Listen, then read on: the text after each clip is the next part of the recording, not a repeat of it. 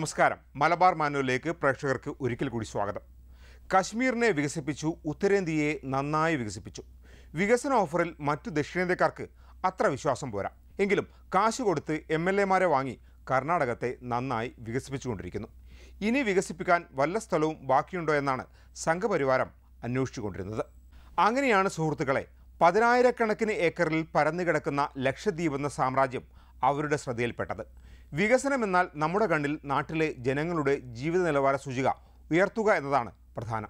പക്ഷേ മോദി ഭക്തൻ പ്രഫുൽ ഘോഡാജിക്ക് അത് ശാന്തസുന്ദരമായ പ്രദേശത്തെ തല്ലിപ്പൊളിക്കലും ജനങ്ങളെ പേടിപ്പിക്കലും ഭക്ഷണ മെനുവിൽ മാറ്റം വരുത്തലും ഒക്കെയാണ്.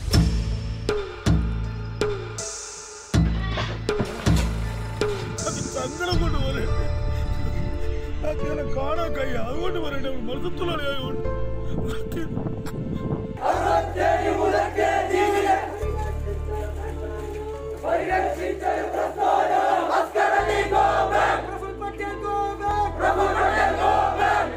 പറയുന്ന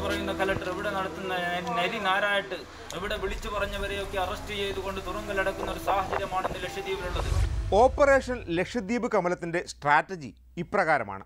ഇങ്ങനെയുള്ള കാര്യങ്ങളൊക്കെ കണ്ട് ചിന്തിക്കാൻ ശേഷിയുള്ളവർ പലതും ചോദിച്ചെന്ന് വരും. എന്തു ചോദിച്ചാലും വികസനം വികസനം എന്ന് മാത്രം പറഞ്ഞുകൊണ്ടിരിക്കണം. പ്രതിഷേധിക്കുന്നവരെ രാജ്യദ്രോഹികളായി മുദ്ര കുത്തണം. അവരെ സപ്പോർട്ട് ചെയ്യുന്നവരെ കേട്ടാലറക്കുന്ന തെറി വിളിക്കണം. വല്ല നടന്മാരുമാണെങ്കിൽ കുടുംബത്തെ അടക്കം തെറി വിളിച്ചോണം.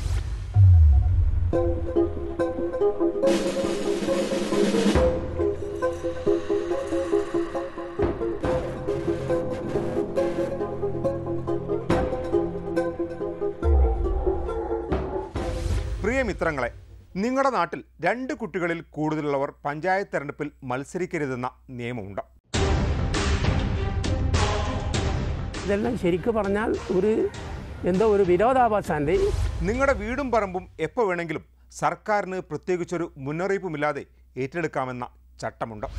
എന്നാൽ മൊത്ത യജമാനന്മാരെ ഇവിടെ ഇപ്പം നടപ്പിലാക്കേണ്ട കുറേ നിയമമില്ല. ഇതും കൊണ്ട് ഞങ്ങളെ പെരിയന്റെ പുറത്താക്കാൻ വേണ്ടിക്കണ. അത് എന്നിന്റെ നാക്ക് തിരിഞ്ഞാലേ. ഇപ്പം എങ്ങ എടുത്ത ഫെരക്കോലോ എങ്ങ വാടക നൽകണം അതെങ്ങനെ നൽകണ്ട? നൽകിയില്ലെങ്കിലോ? ഫിഷ ഉണ്ട് ഫൈൻ. അതടക്കണം അതിന് കുറഞ്ഞതുമില്ല രണ്ട് ലക്ഷം ഉറുപ്പ്യ. ഇനി അടച്ചേലെങ്കിലോ ഒരു നാളേക്ക് ഇരുപതിനായിരം ഉറുപ്പ്യ വെച്ചങ്ങ് കെട്ടണം. എങ്ങ പാവങ്ങൾ ഓടിയുണ്ട് വൈപ്പങ്കോ അവർക്ക് നിങ്ങൾ ഹെല്ലിയ കൊടുക്കാം. ഏ? എങ്ങൾക്ക് എങ്ങളെ വരെ എങ്ങളെ ഭൂമി ഇല്ലാണ്ടാക്കാൻ എന്നെ പിന്നെ ഓടിയന്റെ കൊണ്ട് തന്നെ ഉണ്ട് അതെന്റെ ഞങ്ങൾക്ക് കൂടിയാകേണ്ടത് അല്ലാണ്ട് എങ്ങളങ്ങനെ ഓട്ടിച്ച് വിടണ്ടേ? നിങ്ങൾ എങ്ങനെ ഓട്ടിച്ച് വിടണ്ടേ? കൊലപാതകമോ കത്തിക്കുത്തോ നടക്കാത്ത കൊല്ലത്തിൽ വെറും പതിനാറ് ചീളുകേസുകൾ മാത്രം രജിസ്റ്റർ ചെയ്യുന്ന ഒരു നാട്ടിൽ ആളുകളെ ഒരു വർഷം വരെ വെറുതെ തടങ്കലിൽ വെക്കാമെന്ന ഗുണ്ട ആക്ട് നടപ്പിലാക്കിയാൽ നിങ്ങൾ ചിരിക്കുമോ അതോ കരയുമോ? ഇവിടെ ആരും ഗുണ്ടകളില്ല. ഇവിടെ ആരും മയക്കുമരുന്ന് കടത്തുകയല്ല. പിന്നെ എന്നും ഗുണ്ട ആക്ട്?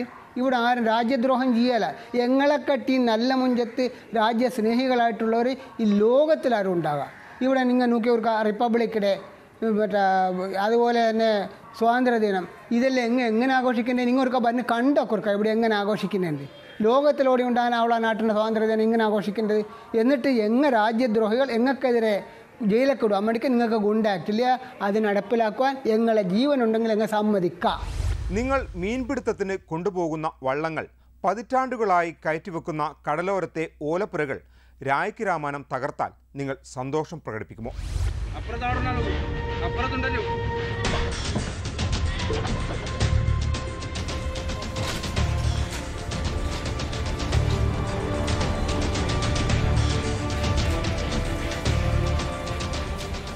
ലക്ഷദ്വീപ് മൊത്തത്തിൽ ഞങ്ങൾക്ക് ഭയങ്കര ദുരിതം ചില ഭയങ്കര ദുരിതമുണ്ട് കാണുന്നിരിക്കുന്ന ഇപ്പം തിരിഞ്ഞു നോക്കിയാൽ തന്നെയാണ് എങ്ങനെ ഒരു ബോട്ടിനെ കിടക്കല്ലേ ഈ ബോട്ട് മതി. കഴിഞ്ഞ കൊടുങ്കാറ്റിൻ ഫൈബറെല്ലാം പൊട്ടിവിടും എങ്ങനെയെങ്കിലും ആണ്ട് ഇടത്തിന് കയറ്റി വെച്ച ഇത്.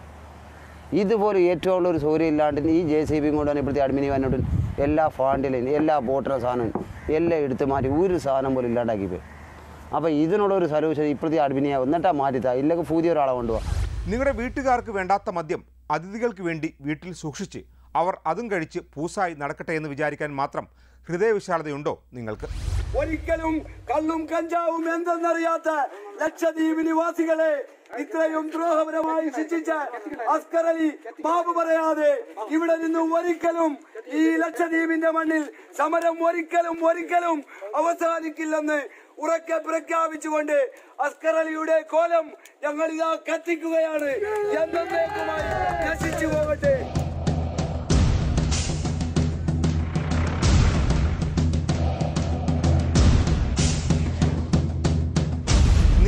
അച്ഛനെയോ അമ്മയെയോ ഗുരുതരാവസ്ഥയിൽ ആശുപത്രിയിലേക്ക് മാറ്റാൻ ഏതെങ്കിലും ജില്ലാ കളക്ടറുടെയോ അധികാരിയുടെയോ സർട്ടിഫിക്കറ്റിന് കാത്തു നിൽക്കുമോ?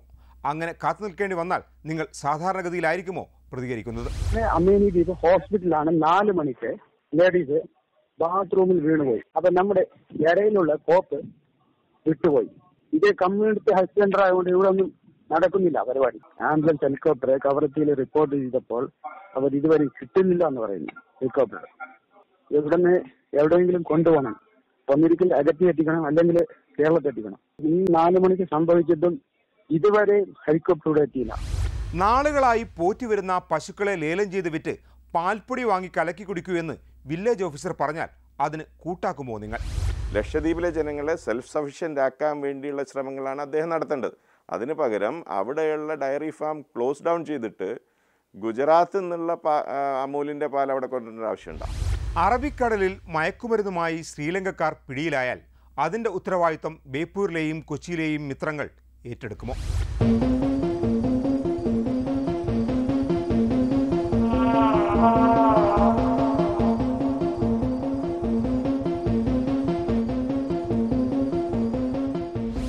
ഇക്കഴിഞ്ഞ മാർച്ചിൽ ശ്രീലങ്കയിലേക്ക് ഇറാനിൽ നിന്ന് കൊണ്ടുപോയ മുന്നൂറ് കിലോ ഹെറോയിന്റെ ഉത്തരവാദിത്തം ലക്ഷദ്വീപുകാർക്കാണെന്ന് പ്രതിരോധ വകുപ്പിന്റെ പി ആർ ഒയുടെ അറിയിപ്പിൽ ഒരിടത്തും പറയുന്നില്ല. എൻ ഐ എ കൊച്ചിയിലെ കോടതിയിൽ സമർപ്പിച്ച എഫ്ഐആറിൽ പ്രതികളൊക്കെ ശ്രീലങ്കക്കാരാണ്. അവർക്ക് ലക്ഷദ്വീപുമായി എന്തെങ്കിലും ബന്ധമുള്ളതായി തെളിവില്ല. പക്ഷേ പഴി മുഴുവൻ ലക്ഷദ്വീപുകാർക്കാണ്. ഇതൊക്കെ തന്നെയാണ് മിത്രങ്ങളെ ലക്ഷദ്വീപിൽ നടക്കുന്നത്. അതിനെ വികസന കുതിപ്പെന്ന് പറയുന്നത് വിവരക്കേടാണ് അടിമത്തമാണ്. പൗരാവകാശം എന്നുണ്ടെന്ന് അറിവുള്ളവനെ ഇതൊക്കെ ദ്രോഹമാണെന്ന് തിരിച്ചറിയാനാകും. കലക്ടർ വന്നിട്ട് പറഞ്ഞത് ഞങ്ങൾ ടൂറിസം ഡെവലപ്മെന്റ് ചെയ്യുന്നു. ശരി ടൂറിസം നടത്തിക്കോളൂ. അതിനൊരു പ്രശ്നമില്ല.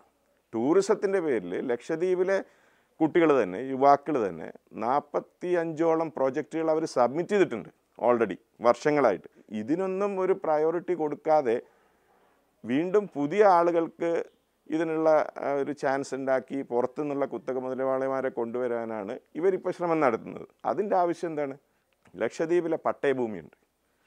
ഓൾമോസ്റ്റ് ഫിഫ്റ്റി പെർസെന്റ് ലാൻഡ് പല ദ്വീപുകളിലും പട്ടയഭൂമിയാണ്. ആയിരത്തി തൊള്ളായിരത്തി അറുപത്തി എട്ടിലെ Lakshadweep land revenue and tenancy act പ്രകാരം പട്ടയം കൊടുത്തതിന് ശേഷം അവർക്ക് ഓണർഷിപ്പും ഓക്യുപ്പൻസി സർട്ടിഫിക്കറ്റും കൊടുക്കണം. അതിന് പലരും അപ്ലൈ ചെയ്തു കിട്ടിയിട്ടില്ല. അപ്പോൾ അത് ഇതുവരെ സർക്കാർ ചെയ്യാതെ. രണ്ടായിരത്തി പതിനാറിൽ ഒരു കലക്ടർ വന്നിട്ട് സാധാരണ ജനങ്ങൾ അവിടെ അത് ഉപയോഗിച്ചുകൊണ്ട് വന്നു. രജിസ്ട്രേഷൻ നടത്തി വീടെടുത്തു. പക്ഷെ രണ്ടായിരത്തി പതിനാറിൽ ഒരു കലക്ടർ വന്ന് ഇതിനെതിരെ പ്രതിഷേധിച്ചു. ഇത് നിങ്ങൾക്ക് ഓക്യുപ്പൻസി കിട്ടാത്തതുകൊണ്ട് നിങ്ങൾക്ക് വീടെടുക്കാൻ പറ്റില്ല എന്ന് അത് കേന്ദ്ര ഗവൺമെന്റ് അമെൻമെന്റ് കൊണ്ടുവന്നു. ഓക്യുപ്പൻസി കൊടുക്കാൻ വേണ്ടി പറ. പക്ഷെ എന്നിട്ടും അത് കൊടുത്തിട്ടില്ല. അപ്പോൾ ഈ അൺഇൻഹാബിറ്റഡ് ഐലൻഡും ഇൻഹാബിറ്റഡ് ഐലൻഡിലെ കുറച്ച് പല ഭാഗങ്ങളും ഈ പട്ടയഭൂമിയാണ്. ആ ഭൂമിയുടെ റെന്റ് കുറച്ചു പകുതിയായിട്ട്. സ്റ്റാമ്പ് ഡ്യൂട്ടി ലക്ഷദ്വീപിൽ മൊത്തം ഒരു എട്ട് ശതമാനം വർദ്ധിപ്പിച്ചു.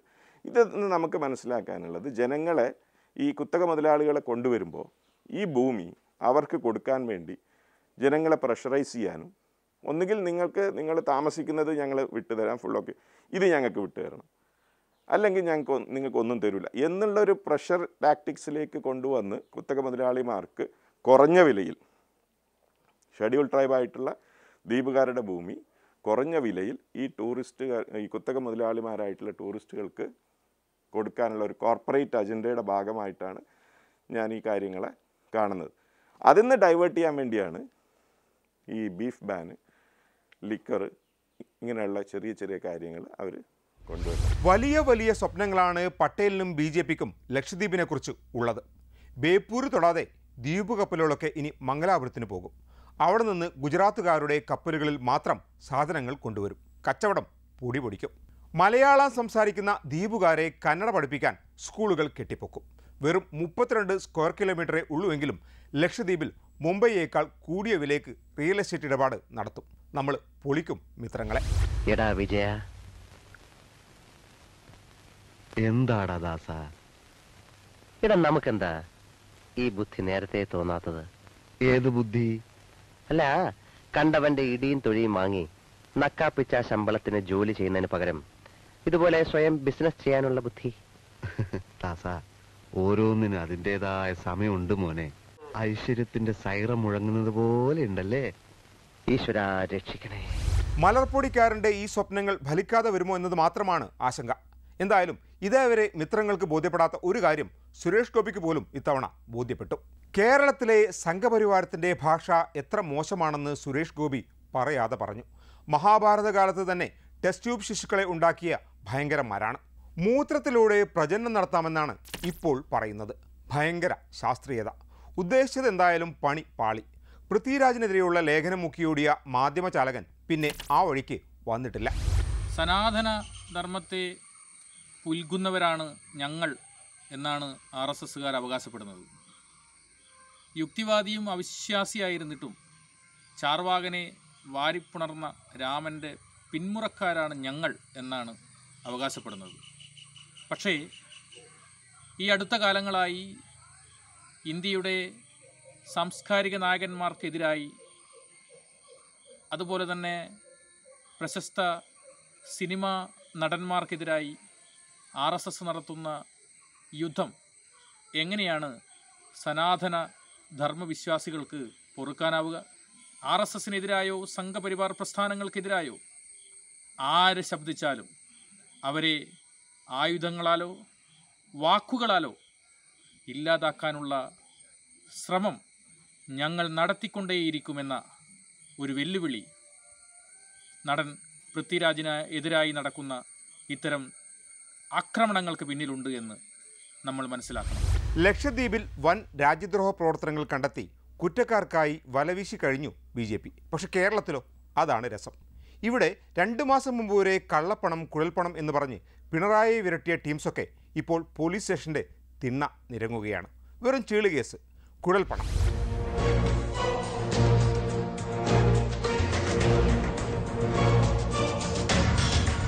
കള്ളന് കഞ്ഞി വെച്ച് കൊടുക്കുക എന്നതൊക്കെ പഴഞ്ചൻ പ്രയോഗമാണ്. ഇപ്പോൾ കുഴൽപ്പണക്കാർക്ക് റൂം എടുത്ത് കൊടുക്കുക എന്നതാണ് പുതിയ പഴഞ്ചൊല്ല്. കേസും പുലിവാലും പിന്നാലെ വരും. വന്നാലോ കമ എന്ന് മിണ്ടരുത്. പോലീസ് ചോദ്യം ചെയ്യാൻ വിളിപ്പിക്കും വരെ. വിളിപ്പിച്ചാലോ?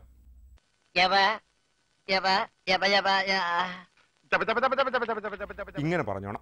പിണറായിക്കെതിരെ നിങ്ങൾ ഉയർത്തിയ അതേ വാളാണ്. അതും തൊണ്ടി സഹിതം ഇപ്പോൾ തിരിഞ്ഞു കൊത്തുന്നതെന്ന് ഓർമ്മ വേണം ബി ജെ പിക്കാർക്ക്. രണ്ടായിരത്തിന്റെ കറൻസിയിൽ പണ്ട് മിത്രങ്ങൾ പറഞ്ഞതുപോലെ ചിപ്പ് ഘടിപ്പിച്ചിരുന്നുവെങ്കിൽ സംഗതി മിന്നിച്ചേനെ. നിർഭാഗ്യത്തിന് ചിപ്പില്ല. മോശമായിപ്പോയി. പണമാണ് മുഖ്യം ബിഗിലെ. തെരഞ്ഞെടുപ്പ് ജയമല്ല. തെരഞ്ഞെടുപ്പിൽ മുപ്പത് സീറ്റ് പുഷ്പം പോലെ ജയിക്കുമെന്ന് തട്ടിവിട്ടത് ആരെ പറ്റിക്കാനായിരുന്നുവെന്ന് ഇപ്പോൾ തെളിഞ്ഞു വരുന്നുണ്ട്. കാഞ്ഞ ബുദ്ധിയാണ്. തല വെയിൽ കൊള്ളിക്കരുത് സുരേന്ദ്രനും കൂട്ടുകാരും. ഇവിടെ സംഭവിച്ചിട്ടില്ലെന്ന് വെച്ചാൽ ഈ ബി ജെ പിക്കാർക്ക് അറിയാം തെരഞ്ഞെടുപ്പ് അവർ ജയിക്കാൻ പോകുന്നില്ല. ജയസാധ്യത വളരെ കുറവാണ്. അവരാലോചിച്ചപ്പോൾ എന്തിനു ഈ പണം തിരഞ്ഞെടുപ്പിന് വേണ്ടി ചിലവഴിക്കും? ആ പൈസ നമ്മുടെ സ്വന്തം ആവശ്യത്തിന് ഉപയോഗിച്ചാൽ മതിയല്ലോ എന്ന സ്വാർത്ഥ ആ ചിന്തയിൽ നിന്നാണ് ഇപ്പോഴത്തെ ഈ നമ്മുടെ പുതുക്കാട് കൊടകര സംഭവം ഉണ്ടാകുന്നത്. കൊടകരയിൽ അവർ ചെയ്തതെന്ന് വെച്ചാൽ ഈ തൃശ്ശൂരിൽ നിന്ന് കൊണ്ടുപോകുന്ന കള്ളപ്പണം ആ ഇന്ന വാഹനത്തിലാണ് കൊണ്ടുപോകുന്നതെന്ന് നേരത്തെ കൂട്ടി അറിവ് കൊടുക്കുകയും. ഇവർ തന്നെ ഏൽപ്പിച്ച ഗുണ്ടകൾ അല്ലെങ്കിൽ ഇതുപോലെയുള്ള തട്ടിപ്പറിക്കാർ ആ വാഹനം തടഞ്ഞു നിർത്തി ധനം അപഹരിച്ചു എന്നുള്ളതാണ്. അപ്പോൾ ഇത് ബി ജെ പിക്ക് ഇപ്പോൾ തന്നെയുള്ള ചീത്തപ്പേരിന് കൂടുതൽ കളങ്കം ചാർത്തുന്ന ഒരു സംഭവമായിട്ടാണ് നമ്മൾ കണക്കാക്കുന്നത്. ലക്ഷദ്വീപിലും നാറി കേരളത്തിലും നാറി ആകെ മൊത്തം നാറ്റക്കേസാണ് എല്ലാ സീറ്റുകളിലും എട്ട് നിലയിൽ പൊട്ടിയതിന്റെ ക്ഷീണം മാറും മുമ്പാണ് കുഴൽപ്പണ കേസ് വന്നുപെട്ടത്. ഹെലികോപ്റ്റർ പോലെയുള്ള സൗകര്യങ്ങളുള്ളപ്പോൾ കാറിൽ കുഴൽപ്പണം കടത്തിയത് എന്തിനാണെന്ന് ചില നിഷ്കുവണികൾ ചോദിക്കുന്നുണ്ട്. പാവങ്ങൾ അവർക്ക് ഈ പാർട്ടിയെപ്പറ്റി ഒരു ചുക്കുമറിയില്ല കൊടകരയിൽ കൊള്ളയടിച്ച മൂന്നര കോടി പോട്ടേന്ന് വെച്ചാലും കേരളത്തിലേക്ക് കൊടുത്തയച്ച ബാക്കി നൂറ്റി അൻപത് കോടി രൂപയുടെ കണക്ക് കൊടുക്കേണ്ടി വരും. ശ്രീധരൻപിള്ള തക്ക സമയത്ത് ദില്ലി നേതാക്കളെ ഉപദേശിക്കുന്നുണ്ടെന്നാണ് കേൾവി. എന്തായാലും ഈ പാർട്ടിക്ക് നല്ലത് മാത്രം വരുത്തണമെന്നേ അദ്ദേഹം ആഗ്രഹിക്കുകയുള്ളൂ.